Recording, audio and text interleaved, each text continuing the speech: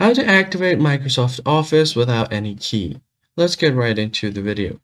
So if you guys don't have any product activation on Microsoft uh, Office, any of its applications, so let me just go ahead and open up a PowerPoint for you guys.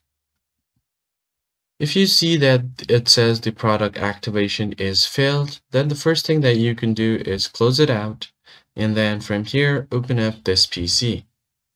Once you open it up, head over to the C drive.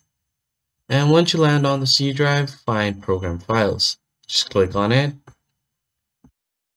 From here, you're going to have to find the folder for Microsoft Office and then click on this. Once you open it up, all you have to do is click on Office 16.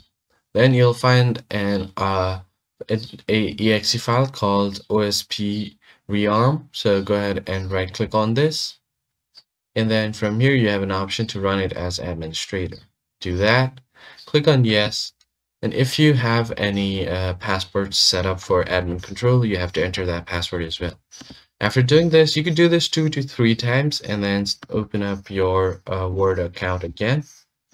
And on this uh, Microsoft apps, you should be able to get rid of the product activation failed problem. That's it for this video. I hope it was helpful. I'll catch you guys on the next one.